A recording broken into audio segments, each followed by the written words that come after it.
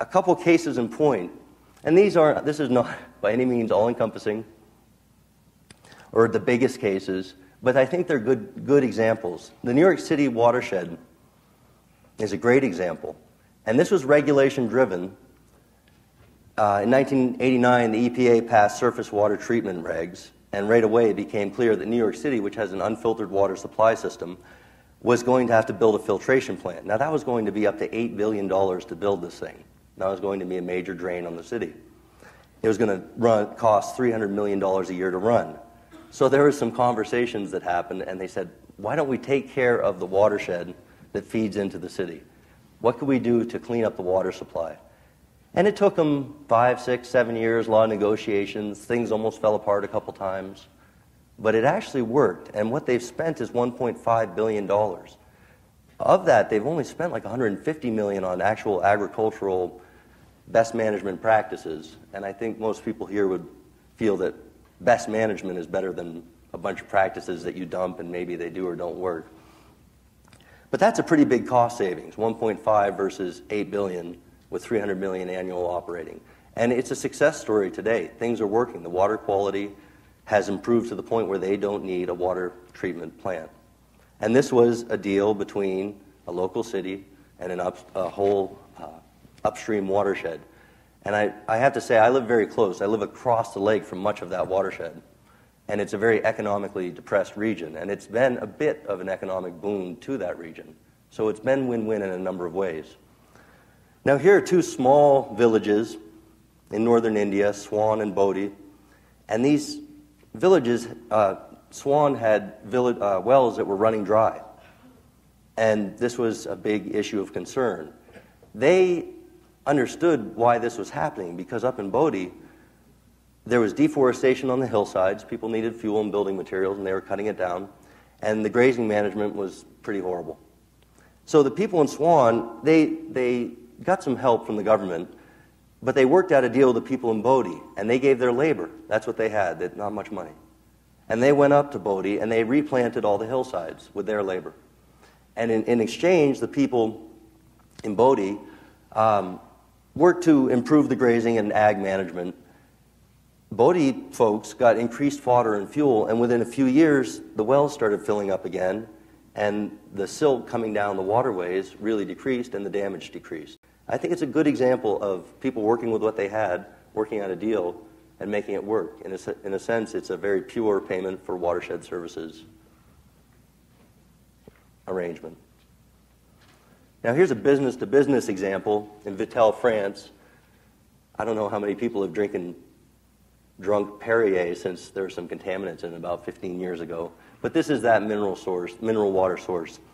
Uh, nitrate and pesticide contamination had gotten into the water, and the formerly pastoral landscape upstream of them had gone to corn. It was now corn. There was a lot of erosion, a lot of pesticides, a lot of fertilizer getting into the water. And it was creeping up, and this is very closely monitored water because it's very lucrative, the, the products that they sell from it. So Nestle Waters uh, became concerned. And they tried to figure it out. It took them about a decade, but they finally worked out a deal. And it was a very lucrative deal for the upstream farmers. There was a five year transition phase, and during that time, uh, they were getting $110 an acre for that five years. Plus, Nestle would give the farmer about 200K to upgrade their equipment new buildings, new tractors, stuff to get the job done to do their nutrient management and general management better. There was an 18 or 30 year contract. There was ongoing free labor to apply compost in the farmers' fields and free technical assistance ongoing. This was lucrative for the farmers and it was very lucrative for the company. Here was a company that needed these services, made the deal, and it's been working again and again, I come back to the real leadership in land management has come from the land. I think, especially in the 20th century, we had 100 years worth of pioneers. People like Andre Voisin, Fred Sykes, Newman Turner, Allan Savory, P.A. Yeomans, who invented keyline, and so many more people. So many different methodologies and approaches to improving land were developed. And I'd say it was just in time. just in time for us to take advantage of some big market opportunities, and just in time to address these big natural resource issues we're facing, and just in time to address the fact that we're not running our civilization very well if we're running out of topsoil. I count about 40 broad categories of tools, each of those often with dozens of subcategories, for ways to make land better, more productive, and to do it in a way that uh, increases biological diversity.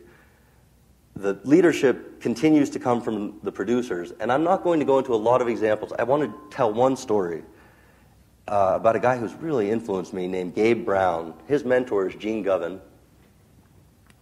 They're collectively called the Burleigh County Boys, and they've invented some, something called cover crop cocktailing, partly because it's so many seeds put together, partly probably because of the cocktails that were drank during the formulation of the methodology.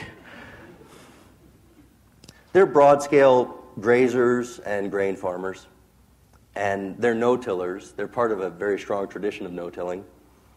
And on Gabe's Brown, uh, Gabe's farm, he's combining his crop off, and then he's immediately going in and drilling 10 to 20 varieties, typically mostly annuals, mixed together, right into the stubble. Here we have 65 days after seeding. You can see sunflower and sorghum and buckwheat, and he has a lot of brassicas in there, a lot of winter cereals. The diversity is incredible, and what's been happening, they've teamed up with a lot of researchers, scientists, NRCS folks, and they've got a really good team with a lot of innovation going, and they've done a lot of side by side comparisons. Even in drought periods, these cocktails next to a monocrop, say just a triticale crop, the triticale will die, or even triticale and clover, it'll die. But when they get to 10 or 20, something happens. The diversity of exudates, the diversity in the profile of the roots, and these things just keep producing. And come September, October, November, they've got something like eight tons of dry matter standing out in these fields with incredibly diverse forage. They don't need minerals. The animals perform incredibly. In November, this grazing event right here with these animals, these young stock were gaining, I think, 3.1 pounds per day, uh, 3.1 pounds per day in November. That's, that's pretty good gain. But it goes on because they're grazing maybe 30% of that dry matter and leaving the other 70% on the ground to feed the soil. And what Gabe's realized on this 4,000 acre farm, he's uh, had about a 12 fold increase in water infiltration, half an inch an hour to six inches per hour. And a few years back, they had 13 and a half inches of rain in 22 hours, zero erosion. The next day, they were able to drive on their fields without adversely affecting soil structure. That's how good the drainage has become. They're using 10% of the fertilizer of their neighbors. They're using a quarter of the herbicide. Uh, adjusted for insurance, they're getting 117 bushel corn yield compared to 70 bushel county average. I think uh, these are amazing numbers. He's obviously succeeding in every way.